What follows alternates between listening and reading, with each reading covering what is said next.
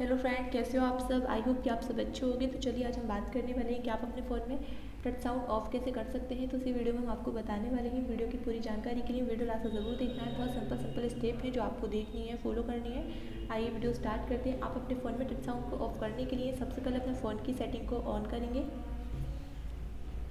Setting on करने के बाद में यहाँ से आपको काफ़ी सारे ऑप्शन देखने को मिल जाते हैं, जिसमें से यहाँ से आपको एक ऑप्शन देखने को मिल जाता है साउंड का। आपको यहाँ पे साउंड पे क्लिक करना है। साउंड पे क्लिक करने के बाद में यहाँ से आपको एक ऑप्शन देखने को मिल जाता है एडवांसड का। आपको यहाँ पे एडवांसड पे क्लिक करना है। एडवांसड पे क्लिक करने के बाद में यहाँ से आपको काफ़ी सारे ऑप्शन देखने को मिल जाते हैं, जिसमें से आपको एक ऑप्शन देखने को मिल जाता है टच साउंड का। आपको टच साउंड पे क्लिक करना है। क्लिक करने के बाद में आपके फ़ोन में टच साउंड ऑफ़ हो चुका है।